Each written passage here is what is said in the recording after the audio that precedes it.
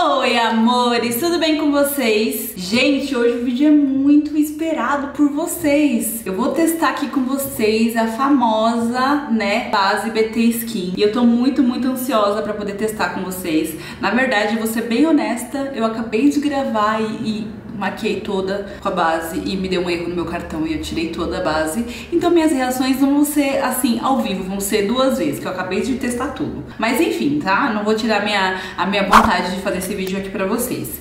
Bom, gente, a base vem nessa embalagem aqui perfeita. Sério, a Dona Bruna arrasou. Que a embalagem mais linda de base que eu já vi. A base tem 30 cores, 30 cores. E a cor que eu escolhi é a M30 que ela tem um subtom neutro, tá? Essa é a base. E ó, o que mais bacana, gente, tô com uma base da minha amiga que a gente divide o frete, né? Coisa de amiga. E a dela é F60. Ó, uma coisa que é importante. A base não roda, tá? Ó, a dela veio meio sujinha aqui. A dela é F60 e ela é super branquinha. Ó, e ela jurava que ia ser um dos tons mais claros e não. Então tem todos os tons de pele, assim, desde o mais clarinho até o mais escuro. Então a Bruna, assim, gente, só orgulho de, dessa mulher. Ela é perfeita. Eu tô muito feliz de estar tá fazendo a resenha dessa base, porque essa base representa muito, muito, muito pro mercado nacional. E a Bruna, assim, lacra demais. Eu sou muito fã do trabalho dela, ela já tive essa oportunidade de falar pessoalmente. Estou colocando aqui, expondo pra vocês. Bom, a minha cor que eu escolhi é a M30. Na outra base da Bruna, eu usava a M30 também, tá? M30 ou M20, era uma das duas. Deixa eu ver, tá aqui, peraí. M30. Era a M30 a base que eu usava da, da Pausa pra Feministas, a mais, a mais recente dela. E agora eu vou mostrar pra vocês como que ela é. A base, gente, ela não é de rodar aqui, tá? Aqui é só você puxar. Ela tem esse aplicadorzinho aqui de conta-gotas, mas ela é tipo muito estilosa, ela é diferente demais aqui na embalagem, parece base gringa mesmo. E aí, ó, eu vou aplicar aqui pra vocês verem quanto ela é líquida. Ó, ela é bem líquida, tá? E eu já testei, gente, vocês vão ver que é a minha cor certinha. Essa aqui é M30, como eu falei pra vocês. O meu subtom é neutro, eu já tinha testado outras bases, bases amareladas, vocês sabem que eu tenho um monte de base amarelada, base rosada, mas eu entendi que o meu subtom, ele é neutro, e o que me deixa muito feliz porque as marcas, a Nina mesmo, a, a Bruna, estão pensando nisso. E olha que linda essa cobertura, gente, dessa base. Sério, eu nem apliquei direito, tá aqui o produto ainda, e ela já tem uma cobertura sensacional. Como eu falei, eu já tava com base por baixo, base não, já tinha aplicado o produto e eu tive que tirar. Então não sei se tem resquício aqui ainda. Mas ó, dá pra vocês verem perfeitamente a cobertura dela e o quanto ela tem um vício bonito e ela espalha bem. Aqui sem base, com base. Sério. Gente, eu falei, eu sabia, eu sabia que a, a, base da Nina e a da Bruna ia ser minhas bases favoritas, porque tem um estilo de base que eu gosto. Aqui, ó, gente, ela não promete ser base mate, tá? Ela promete ser base, tipo, de cobertura que seja pro dia a dia, uma base confortável. Então eu imagino que ela não vá é, derreter nem sair ao longo do dia, tá? É, conforme eu, eu vou sair, hoje tá um calor, quando eu chegar eu mostro pra vocês mais. Eu vou aplicar mais um pouquinho. Ela tem 40 ml, tá? Diferente das outras embalagens de base que geralmente vem 30. Ó, vou pôr na minha boca pra vocês verem a cobertura. Minhas manchinhas simplesmente sumiram. Ela é uma base de cobertura média e dependendo do quanto você aplicar, eu acho desnecessário, tá? Mas tem gente que gosta de ir colocando camada, porque ela realmente tem uma cobertura muito pigmentada.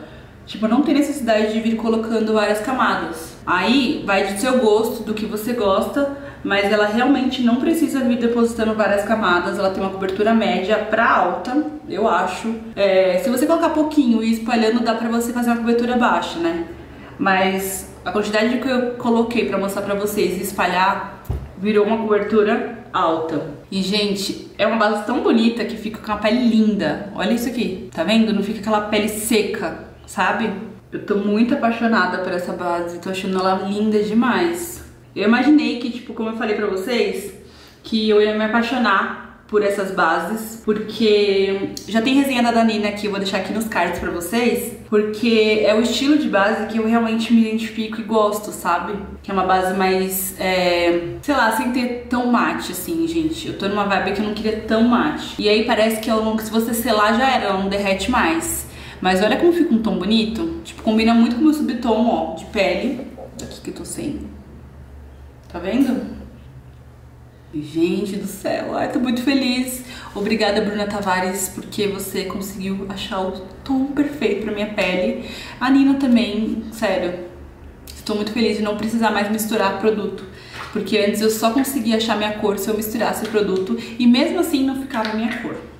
Era difícil tá? Agora BT Skin chegou pra inovar isso aí. Bom, gente, eu vou é, fazer aqui o contorno do meu rosto. Como eu falei, lá na base da Nina, eu acho que essa base aqui é o mesmo estilo, vou ter que selar. Então eu vou fazer o contorno normal aqui, que nem vocês já estão acostumados. E aí eu vou selar também, para poder ter a, durabilidade e tal que a gente espera pro produto. Vou usar o corretivo da Visela, que eu já uso, que é de contorno, o 10. Vou espalhar com pincel. A base, ela tem uma textura bem cremosinha, sabe? E então, para poder espalhar esse tipo de produto mais líquido, deixa a pele ainda mais bonita, entendeu?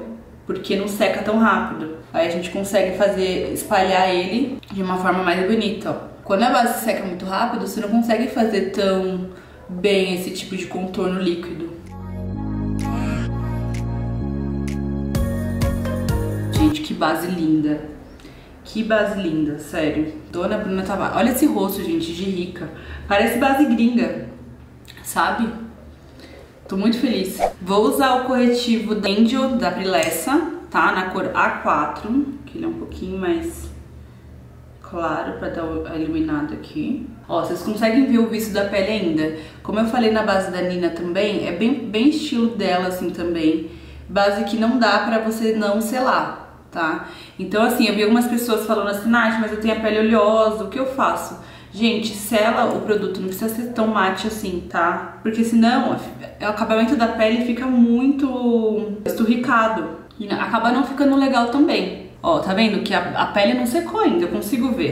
Então, tipo, vai de você selar bem o produto pra não acontecer de, de derreter ao longo do dia, tá? Ela promete que a, a, a, base seja bem confortável ao longo do dia e eu acredito que seja realmente assim, porque você não sente ela na pele, sabe? Eu não tô sentindo nada da, da base na pele e eu acho que ao longo do dia ela deve dar uma, uma secadinha, tá? Tô fazendo minha preparação de pele comum, que nem eu faço, tá? Eu não ando, eu não ando sem contorno, sem nada. E aí eu vou pegar de novo aqui o pincel, que não tem mais produto, só pra voltar aqui os tons. Ó, e a base ainda tá cremosa tá? Eu vou pegar um pouquinho de papel higiênico só pra mostrar pra vocês que ela vai transferir, porque ela precisa ser selada sim. Dá pra sentir que ela precisa ser selada, porque não também não tá prometendo que ela seja mate, tá? Então é efeito natural mesmo, tá na embalagem. Então já volto. Ó, gente, peguei o papel aqui, tá? Ó, ficou grudadinho aqui, transferiu, como eu falei pra vocês. Tô usando, eu tô passando na parte que eu sei que, que não tem produto, tá? Não tem corretivo nem contorno. Aqui transferiu um pouquinho só, mas transferiu mesmo assim. Tá vendo? Então, como eu imaginei, é, ela realmente precisa ser selada. Geralmente esse tipo de base, depois que sela, ela já fica maravilhosa. Então, vocês ficarem tranquilas, porque nem sempre a base vai ser 100% mate e tá tudo bem. A base não sendo aquele, aquele reboco de oleoso, sabe? Eu acho que já dá pra segurar ela com pó. Bom, eu vou fazer minha pele normal. Vou usar o blush da Mari, tá? Esse aqui é o Hot Pink. Eu sinto que até pra aderir, eu não passei nenhum tipo de primer, nada, tá? Eu tô só com a base eu não passei absolutamente nada e mesmo assim a pele tá bonita. Parece que a pele fica mais é, viçosa, mais natural. A proposta dela é que realmente fique mais natural, mais bonita, tá? Eu vou pegar o, o iluminador Bouquet da Mari.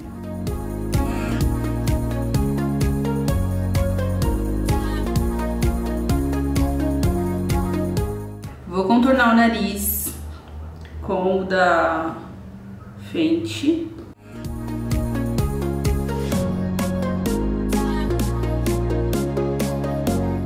E aí eu venho com a esponjinha e vou dando batidinhas. Olha essa pele. Vocês têm noção que, tipo, eu tô usando produtos, tirando esse contorno agora, mas são produtos nacionais, sabe?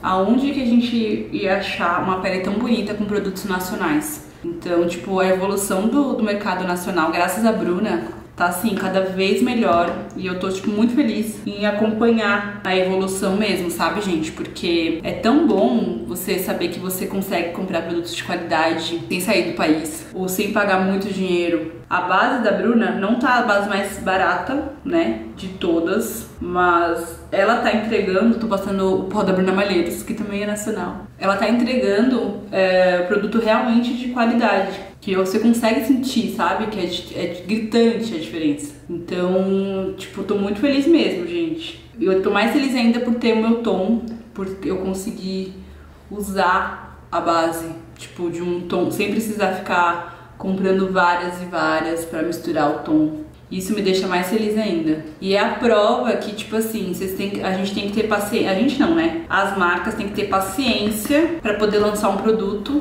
por mais que demore, né, o produto precisa ter toda a cartela de cores necessárias para co cobrir todo mundo, pra todo mundo ficar com sua basezinha ali do seu tom mesmo.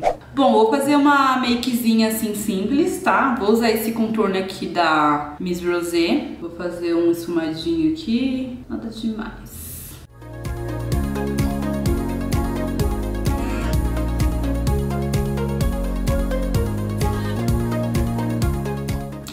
Mais de um simples. E bom, gente, considerações ainda sobre a base.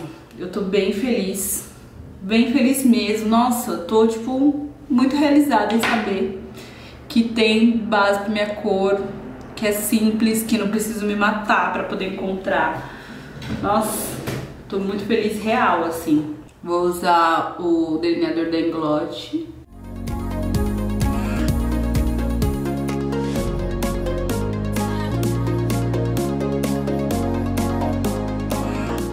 gosto de usar esse diluidor aqui, ó, para diluir o delineador e o pincel do delineador. Adianta muito.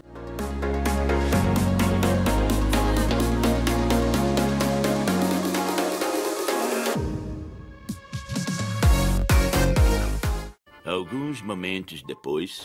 Bom, gente, fiz um delineado aqui, bem puxadão, do jeito que eu gosto. Vou colocar cola nos cílios. E aí vou finalizar a make e já volto para poder falar minhas considerações finais sobre a BT Skin. Amores, terminei agora, né, de fazer minha maquiagem e considerações sobre a base. Eu tô, assim, encantada, apaixonada. Eu achei que é isso, assim, sabe, que a gente precisava. Uma, uma base que seja do nosso tom, uma base que seja bonita, que seja leve.